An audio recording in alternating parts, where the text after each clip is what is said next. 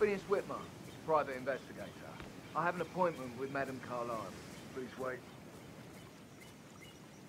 Mr. Whitmer is here to see Madame Carlyle. You can go right in. That is Phineas Whitmer, the famous private investigator, hired by Madame Carlyle this morning. I'm curious why he's here. Maybe you should do some detecting yourself, 47.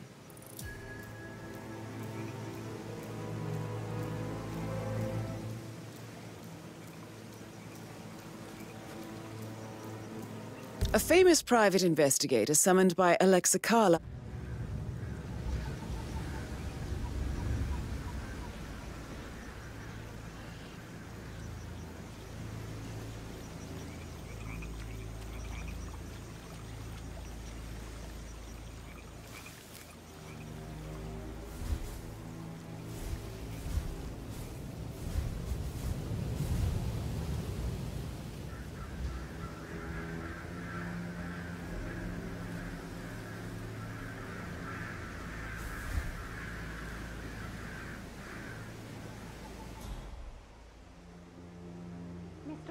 thank God you're here. Can I take you to Madame Carlyle? Please sir. If you follow me.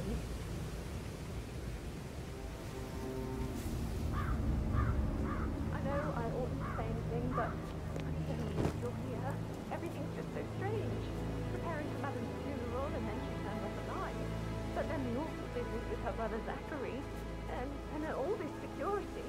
I've never seen a place guarded like this, and, and, and I dare say I don't like it at all. Oh, by the way, I told Kate about those texts. What did she say? Well, I thought she'd be mad at me, but she just thanked me. Said she understood the position I was in. Uh, we had a really good talk about it, actually. What did I tell you? She's a sensible woman. And that stuff from your ex was like manipulation 101. I know, I know. I guess I thought she was gonna read into that and freak out. That's a bit excessive. Say I must have done something to Considering the fact her. that I spotted Shit, no less than two Caroline routes to really did a inside the house unseen. We know what we're doing, sir. Don't worry about that.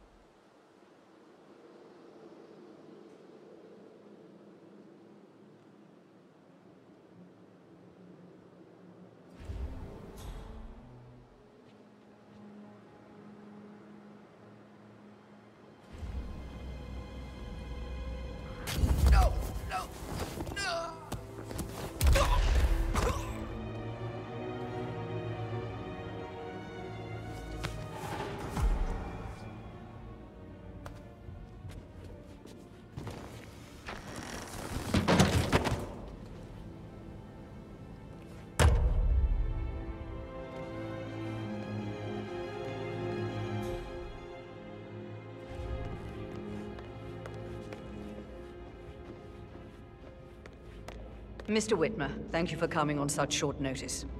A great tragedy has fallen upon us, and I need a quick resolution, handled with absolute discretion. Results and discretion are my speciality. Very well. I suppose you will want to start at the crime scene. In my experience, a thorough examination of a potential crime scene is half the job done. Good. Fernsby will take over from here. I am Mr. Fernsby, the butler. Madame Carlyle has asked me to assist you in any way possible. Mr. Whitmer, I understand that you've traveled from London. Would you care for some refreshments? Or do you prefer to go straight to Mr. Zachary's sleeping quarters? I prefer to get started. As you wish. If you'll follow me, sir. Yeah, hey, bro.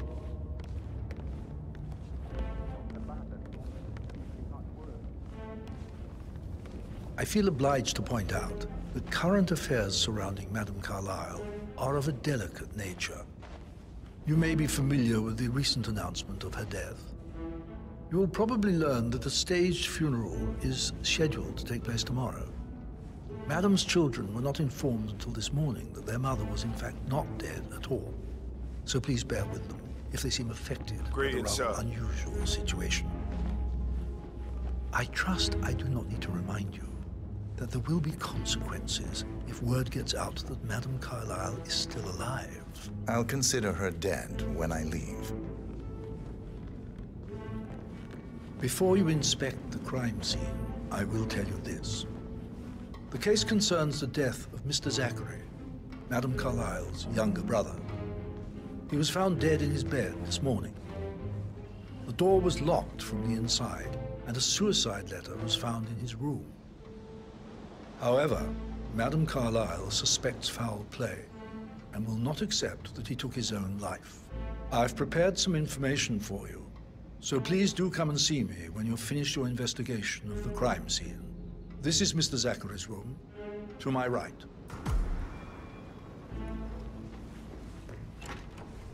A locked room murder mystery, 47. I trust you'll get to the bottom of this. Why don't you use your camera to scan the dead body, 47?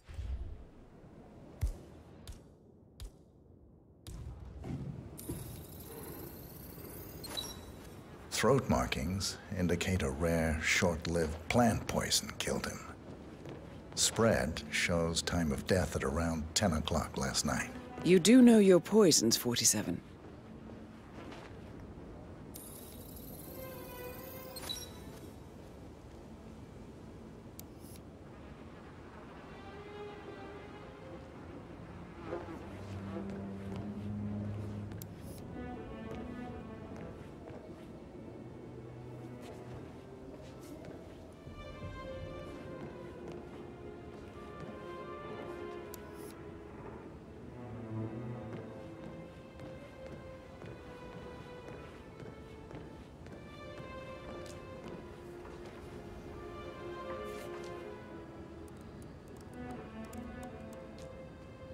Zachary was shopping for new Wellingtons last night. Not exactly what you would expect from someone suicidal.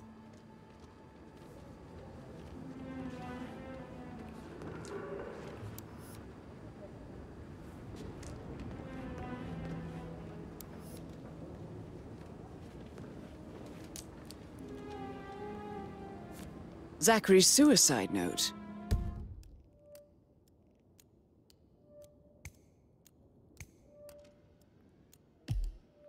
Also, a sample of handwriting. It could be relevant to compare to other samples to establish its authenticity.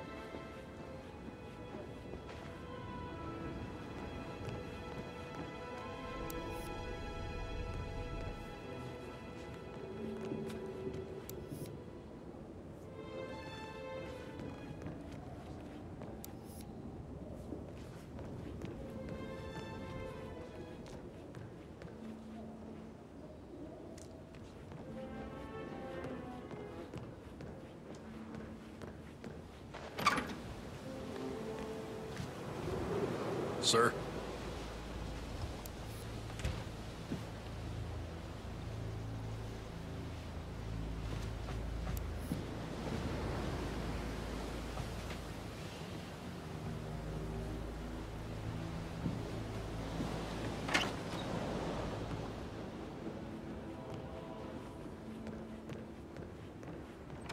You've likely not exhausted the room for clues, 47.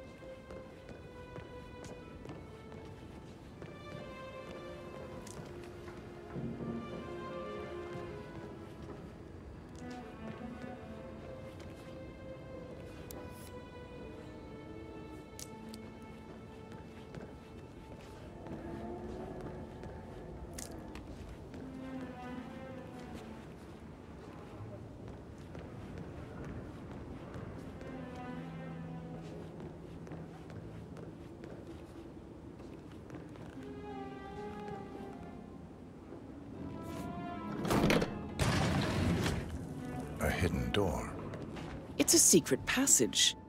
This could explain how the door was locked from the inside.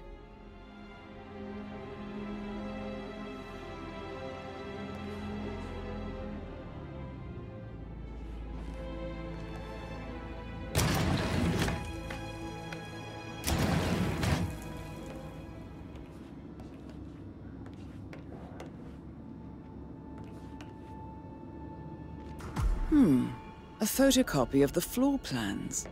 Somebody's been researching the secret ins and outs of Thornbridge Manor. I believe you've done a thorough search of the crime scene, 47. Maybe it's time to see the butler.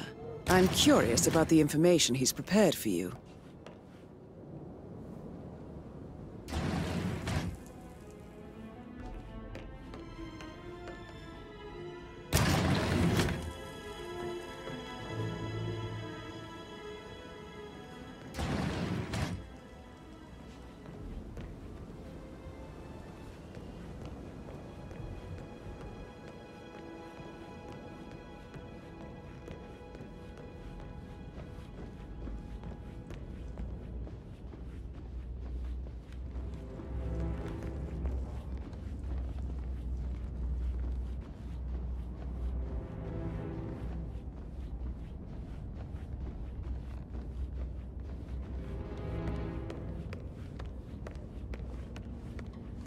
Mr. Fernsby, I'm done with the crime scene. Did you establish a time of death? Zachary died around 10 o'clock last night. Well, that means the staff were off duty. And Madame Carlyle and her security didn't arrive until this morning. That leaves Madame's family and myself as the only persons here when he died. And before you ask, no, I do not have an alibi. I was alone in my office at the time of death. Here's the material that I prepared for you. It's a list of the possible suspects and their quarters. Hopefully that will help you keep track of your findings. Please come and see me when you've solved the case, and I will take you to Madame Carlyle.